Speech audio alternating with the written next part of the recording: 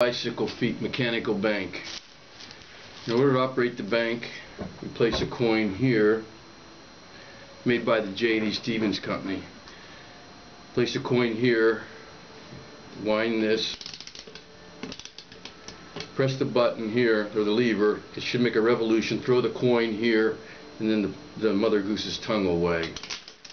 There you go, wagging there, the money's right in there. You can reset it.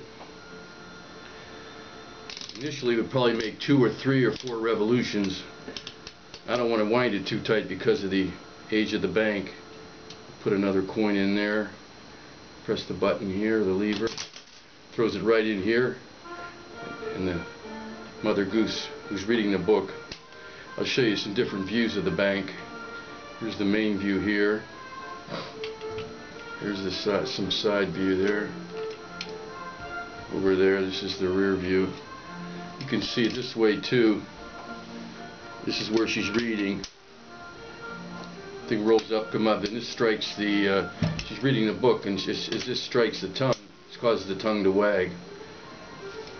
Here's the under part of the bank. This is where the coins go in, uh, come out there. So, very popular bank, very wonderful bank. Professor Pug Frog's Great Bicycle Feat by Janie.